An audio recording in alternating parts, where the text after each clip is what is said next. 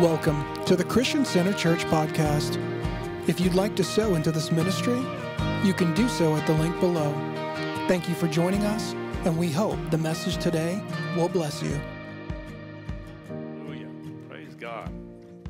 To talk about the Word of God. Is that all right with you? Let's go to the Lord in prayer. Let's pray our prayer of faith. Say, I come in the name of Jesus with a teachable, reachable spirit.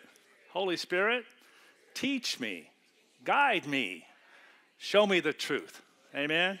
Now we're responsible. Amen. All right. I'm going to talk about Luke 19 11. Luke 19 11. For the Son of Man has come to seek and save that which was lost. In order to lose something, you got to have it first. So we're going to to start from the beginning a little bit. Amen. Uh, Genesis 1:26. Then God said, "Let us make man in our image and likeness." Well, he's not talking about a person with two eyes, two ears, a mouth, and a head. No, he's talking about his character, God's nature. Amen. So what did man lose? Well, man lost God's kingdom, God's love, and God's image. Well, what's God's image? What's God like to you? Well, according to the scriptures in 1 John 4 16, God is love. I know it's hard to see that and feel that sometimes because of things that are going on in people's lives right now. But I'm here to encourage you God never changed his mind on anybody. So, with that truth, we can be set free from worrying about does God love me? And actually, the scriptures talk about God love me first. You know, when I was searching for the things of God, I said, Lord, I got to love you more. I got to love you more. I got to trust you more. And the Holy Spirit revealed to me, I loved you first, son. Because, you know, love proved itself when it hung on that cross. Amen?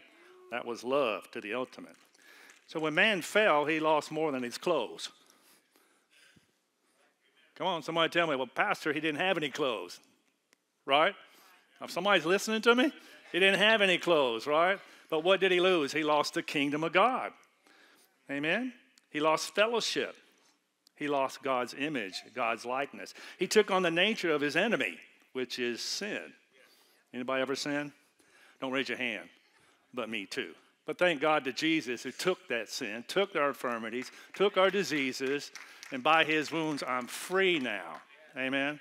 I'm free to not sin. Now, you might sin, but if you sin, you sin with your body, you don't sin with your spirit. But that don't give you an excuse to sin. Please don't hear what I'm saying. The pastor says it's all right to go sin. I'm not saying that. Amen. But we're free from that because of what Jesus did. We don't get what we deserve. I thank God I don't get what I deserve. I get what Jesus deserved because he's Lord, Master, Savior. Amen. You can't earn it. It's a given freedom. Amen. When man fell, he started living for himself rather than the one who created him in his likeness. Man gave away the truth of life and started living the lie of selfishness. Now it's, now it's all about what I'm going through rather than what Jesus went through. We should never allow what we're going through matter more than what Jesus did for us. I mean, God didn't just send his son because we are a bunch of sinners and we need to get to heaven as soon as possible. Please tell me you just didn't pray a prayer to get to heaven. No, we prayed a prayer to get heaven back in us. Our Father who art in heaven, hallowed be thy name, thy kingdom come. Where did the kingdom come to? In man. God created man from the dust of the earth. Amen. So the kingdom of God comes back into man. Amen. Hope you got that. Hallelujah. Praise the Lord. The Father sent His Son because He's seen there was value in His creation. You see, the gospel's more than just about sin. I mean, we try so hard not to sin. We try, we try to pray right. We try to do the right things. Amen? But knowing that, if you keep listening to that type of ministry, that type of word, you become more sin conscious than you do love conscious. And what, what freedom is there in that? Amen?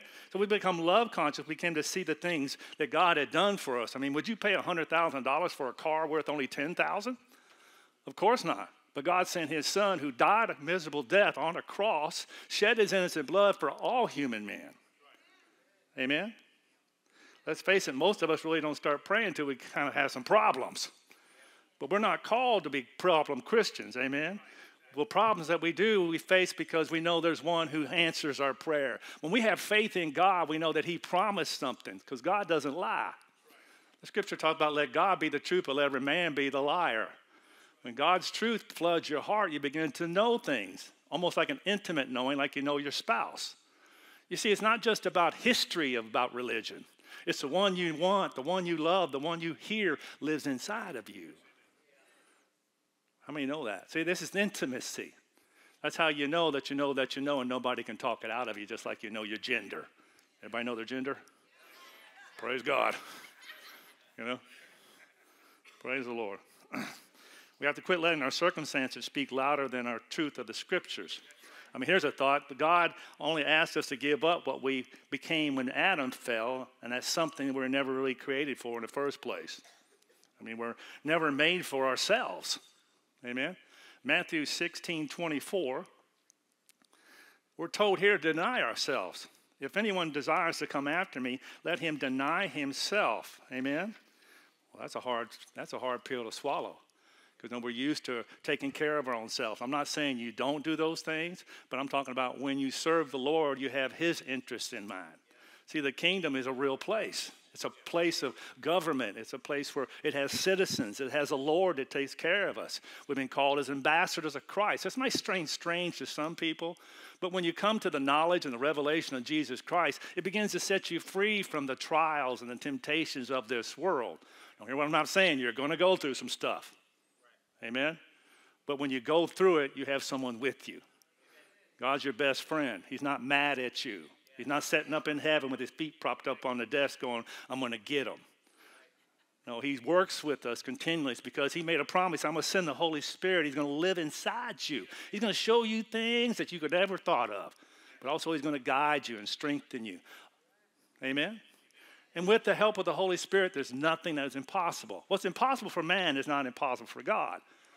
You see, faith is an assurance of things hoped for, but faith is something you got to work on too. Amen? God, God is working with us as we go about doing the things that He did when about doing good. Amen? You see, the gospel more than just about sin. Amen? The problem is, a lot of Christians think they have rights. The truth is, has always been, we deny ourselves or we had an attitude, what about me? What about my rights? What about my ways? You see, there's the problem. There's nothing but the old nature that speaks like that. We all went to homeschool, but we went to the wrong school. There were the lies we accepted as truth when we conformed to the ways of the world. Thank God for good morals. Thank God for good parents. Thank God for good grandparents that taught us these things of, of life. But those things also are nothing compared to what God has given us. There's another place that you can live above your problems or situations and not be so overwhelmed with fear and worry. Because the enemy's putting pressure on everyone right now wanting to give up your faith, throw in the towel. Don't believe that. You know, God said it, but it hadn't happened in your time. Maybe because you didn't deserve it. Well, that's a lie. Amen. Romans 12, 2. Do not be conformed to this world, but be transformed by the renewing of your mind. Amen. Now, that's the problem. We got a lot of people that know the Word of God, but there's no transformation yet. Amen. I know people have been going to church for 20, 30, 40, 50 years and still stuck in the same place waiting for God to do something. You know what I found out? He already did it. Amen. God loves us unconditionally. Amen. Before we can transform our minds, we have to make up our minds on who we're going to think like. God never said just think positive. He called us to think like his son.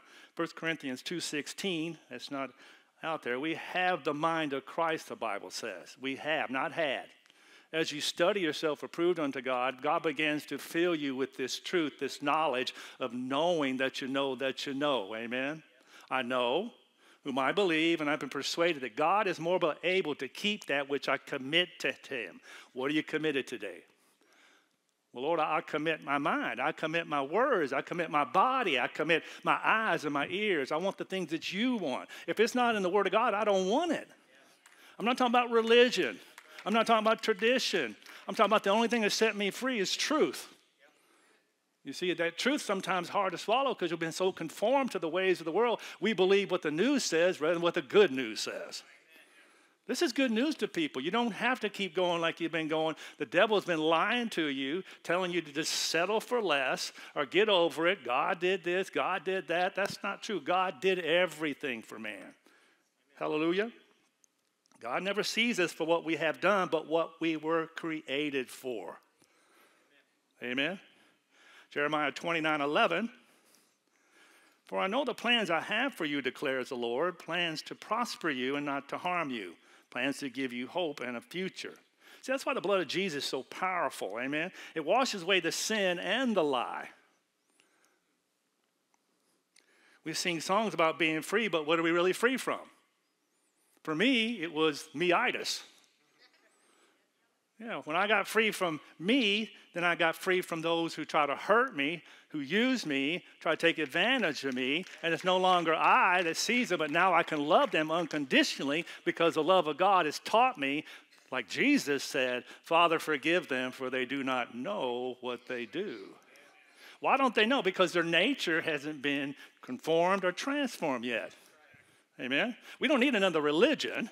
We don't need another church. We need a transformation. We need intimacy and encounter with the Holy Spirit to shine for Jesus. That's what you've been called to do, to go about in all the world, to yeast, to be the salt. You know, one thing I found about yeast, you know, a little bit of yeast makes that dough puff up. He gets agitated, gets aggravated, no matter how big and mad he gets. Come on, devil, he can't get rid of you because we know that we have the authority and power over him in the name of Jesus. Amen. It's all about authority, right, Brother David? Brother David went and encountered the enemy and his, his family over the weekend. He called me up and he gave me a little testimony. And he said, you know, Pastor, I went in and I took authority over that spirit of death in my aunt. I said, Go ahead. He said, It's the first time I've done that in 30 years. I didn't know I could do it. And he prayed the prayer of faith. He binded that spirit of death. He loosed life. And he said, You shall live and not die. Come on, Brother David. Boy, that, that's David. Those who know David, a man of steel. Come on. Stand up, take a bow in Jesus' name. Yeah. yeah. I mean, inspiration, right? And that, that same gift, that same Holy Spirit is in every believer. Nothing's impossible. When's the last time you stepped out in faith? Well, I tried that stuff, Pastor. Yeah, you tried it. But God doesn't just try things, He succeeds because all He needs is a little bit more effort, a little bit one more time. Amen. Hallelujah. Praise the Lord. Well, what am I free from? A person without Jesus doesn't really know how to love. His nature is self centered, self serving. The Bible says in the end that he'll be a lover of self. It's amazing how some of us even know that we've been forgiven, but yet can't show the same type of forgiveness toward others. Yeah, it's getting a little deep. We know we got to forgive some people. Amen? Just forgive them. In other words, cancel the debt, tear it up. They're not gonna, they don't owe you anything. And how you know is if you had a chance to get them back and you were all by yourself, you wouldn't. That's forgiveness. That's forgiveness. Amen. Well, I'm trying to forgive. No, what you're really saying, you don't want to forgive. Well, Pastor, you don't know what I'm going through. Well, let me ask you this Do you know what others are going through or what they've been through? And why do we make our go throughs worse than what Jesus went through? When you look at me, do you, do you see all the hurt and rejection and violence I went through growing up? No, you know why? Because it's not my story, it's not my going through. My story began when I met Jesus, and I've been following him ever since. Amen. The devil wants you to use an excuse not to go forward, but that's a big lie, too. I used to think other people were the reason for most of my problems. If God would just fix them, I would be a better person. You know, one of the most request prayers I have is people call me, Pastor, will you pray for them to remove my boss at work?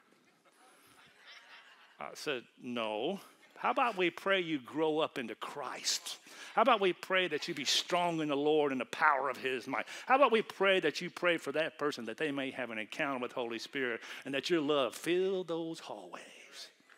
Well, I don't want that. Well, that's all I can pray. I gotta pray the truth, amen. Hallelujah used to think all that thing. But did the gospel change just because we've had bad experiences or bad parents or bad childhood? You know, I was in the Christian bookstore the other day and I seen a, there was a bunch of books written about why God doesn't do this and why God doesn't do that. Why are they always trying to change the gospel? I thank God Jesus didn't read those books. Amen? Because he wrote the book. Amen? The Bible says there were so many things that he did, there wasn't enough books that could contain all the great things that he had done. There's this, there's this thing inside of you, this, this knowledge that you have, this understanding. People perish because they, they lack the understanding or they lack the knowledge, but what it is, they just won't step out. You know what I noticed? A turtle's got to stick his neck out a little bit to make some progress. Any turtles in the house? When's the last time you stuck your neck out? Amen? But what if it don't happen? What if it does? What if I fall? What if you don't? What if I get a revelation? Now, there you go. What if I get a place where I know that I know that I know? You see, God's proud of you. Amen? There's no fear in the gospel. God settled it all. Amen? That's why we don't always need everything to go right. All we need is to be more like Him, and all the things will work out for the good. The reason why there's so many Christians in trouble is because we don't see the value in ourselves and the price that was paid for on the cross. We keep bowing down to the things we're supposed to be dead to when God promised a new life in Him. When people don't see the good in themselves, they live only up to the level that others have said about them. Keep hearing those voices, those words, those things they said 30, 40, 50 years ago. Why are we carrying that? Be free in God, amen? There are a lot of people who are driven by nothing more than what people said about them. Come on, you know you're worth more than that to God, especially if you're a Christian. One of the goals of our Heavenly Father, not just give us eternal life, but to restore His image of love back in us. Adam was cut off from the source of love, and ever since then, man has been reduced to needing to be loved, and now man is looking for love in all the wrong places. Sound like a country song. Looking for love in all the wrong places. Nobody knows what I'm talking about. Why is it so easy because of what people do to us? Why are we crying out because of what people do to us rather than cry for them? You know why? Because our nature of sin has taught us to think more about ourselves. Are we going to continue to allow the hurts of yesterday to decide our todays?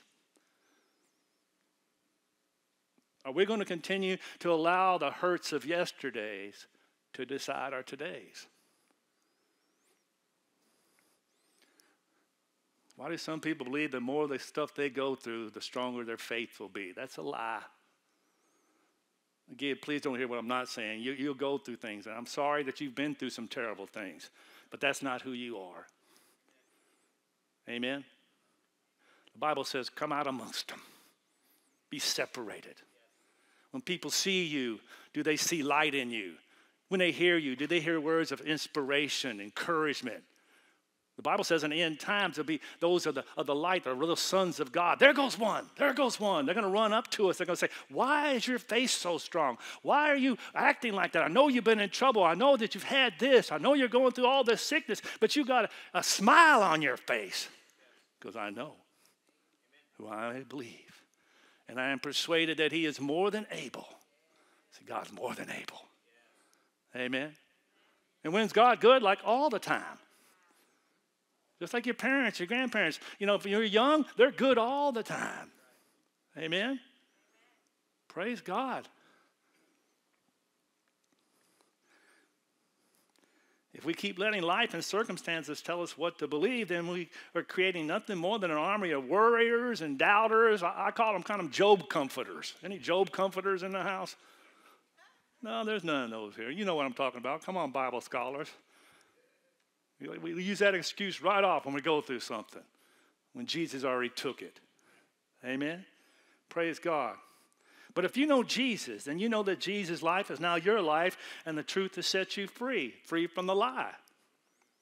John 8 36. For he who has the Son is free. Amen. He who has the Son is free. Amen. I like to, yeah, the scripture says, indeed, you say. Yes, amen. you know, God could have easily just put a castle or a kingdom up in the sky. He could have done that way to prove himself. You know, and then as you grow up, you're walking with mom and dad, and, And the little child goes, Look, mommy, that's, that's where God lives. But God didn't do it that way. You know what God did? Wow, mommy, daddy, look, that's where God lives. Not where, that's where God goes to church. That's where God lives. That's where God lives. Scripture says He's in us. Well, you get a revelation of that, you'll be walking around thinking, you know what? With like David, I got the authority in Jesus' name. I've been sent to help, deliver, set captives free, lay hands on the sick, and yeah, even cast out some demons. All in Jesus' name because He gets the glory, He gets the power. It's all what Jesus did, not what you do. We just want to be obedient. See, I get to do this. You say, well, you're a pastor. No, no, no. We're sons and daughters of God. Your name is written in heaven just like mine. God has no favorites but my wife. Amen? I like to think, Lord, the apple doesn't fall from the tree now. He said, Yeah, you're good too, son. But what about me? What about me? Yeah, what about you? What about you? Well, he says you're more than a conqueror, not just a conqueror. And then you, you have this, this knowing, this, this your spirit relates to your human spirit that you are. You are. You are a son of God. You're not just saved to go to, to go back to heaven. You're saved to reflect the kingdom and shine for Jesus in this world so people can see the goodness of the Lord living inside you. It's a lot of responsibility. You know, we like to get ourselves fit. We like to get ourselves in good shape, eat the right foods. Amen? And there's good things about that. But where the Spirit of the Lord is, there's liberty. Amen? We're free. You don't know any man nothing but to love him. You, you, you see what I'm saying? You don't owe anything to anyone but to love them. Amen? Because it was love that died on that cross. Amen? Praise the Lord. Why do we want something from God if we can't become what He wants us to be? When we read our Bibles, we'll find out we were never created to be Christians for ourselves, but for God's glory. God's glory. Wow, God's glory.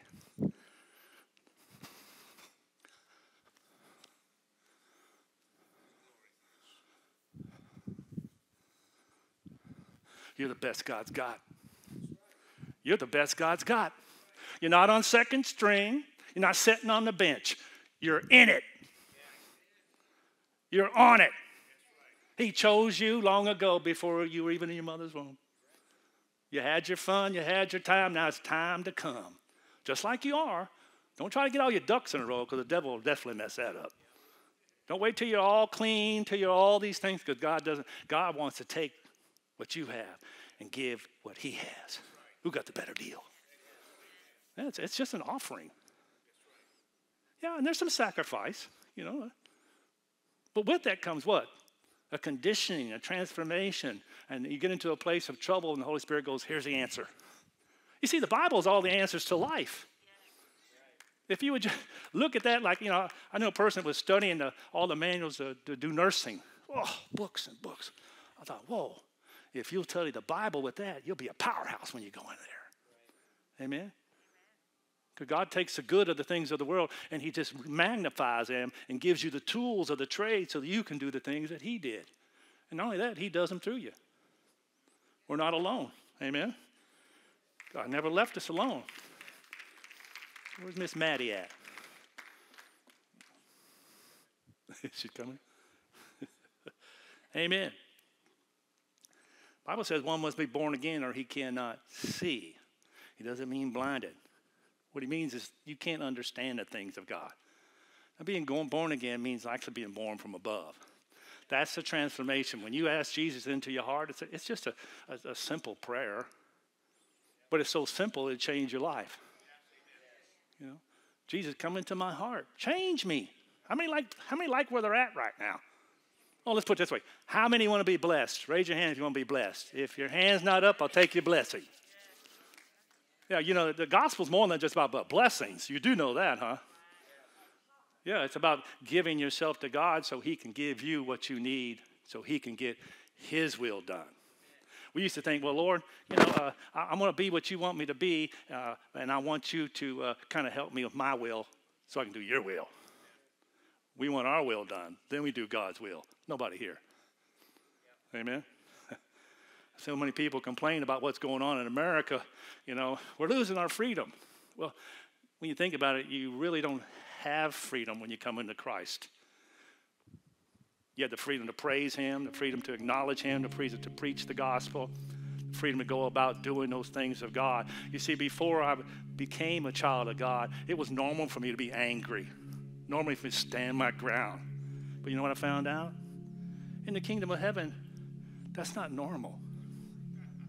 You know what's normal kingdom of heaven? To forgive those you think don't deserve it. Yeah. To be quick to forgive, not to hold judgment, being critical or fault finding. Those things were under the blood. Those Jesus died for that stuff. I'm not saying your emotions don't get the best of you sometimes, but we're not supposed to be led by our emotions. We're supposed to be led by the Spirit. You say, well, what's the Spirit? Well, it's, it's the Word of God, the truth. The only thing that sets you free is truth. Amen. We don't need another president. We don't need another government. We need a nature change. God wasn't elected, wasn't voted in. He's the King of kings, the Lord of lords. Prepare ye the way of the Lord, he said. Wow, we get to do that. Through how? The demonstration, right? Through our walk daily, through our attitudes, through our love. You know, I know you all know a lot of people who seem to start off the race like racehorses and then they kind of dry up at the end. Could it be that maybe they've lost their first love? Nobody here. I know everyone here just loves the Lord. Amen. Loves God. Want to be what God wants you to be. Amen. Now, Jesus was sent for many things, but the one thing I know that he was sent for was to prove that the Father love is unconditional. Just pray this simple prayer. Say, Lord Jesus, you can say it underneath your breath. I choose to forgive all those who've hurt me, taken advantage of me, or used me in any way. I cancel the debt. And Lord, if I've done that to anyone else, I repent. I thank you, Jesus, for your precious blood. You see, that, that wasn't hard. That was simple. You know, a lot of us been carrying some stuff, but you don't have to lay it down at the altar today. Now, Jesus went about doing good and healing all those who were oppressed. You ever been oppressed? Ever been depressed? Oppressed? Those things are like they're real to people. But God wants to set you free today. Hallelujah. You know, He's here because you brought Him with you. I hear people, oh, Lord, I didn't like going to that church. The Spirit wasn't moving. Well, that's your fault. You didn't let Him out. Come on, let Him out. Let Him out. Come and taste how good the Lord is. Amen. Praise the Lord. Amen. Praise the Lord. Well, God bless you spiritually, physically, and mentally, and financially. Is there anything we need to announce? Uh, make sure to keep Pastor Jerry and his wife in prayer on the way. And uh, go out and do something for the Lord this week. Amen. Take, take what you heard and put it to practice. We also have Wednesday night service. Is that right? You need to come because we God passes out outlines there. Then you're really going to be accountable. Amen. All right. Love you. Say, say, say goodbye to somebody you don't know.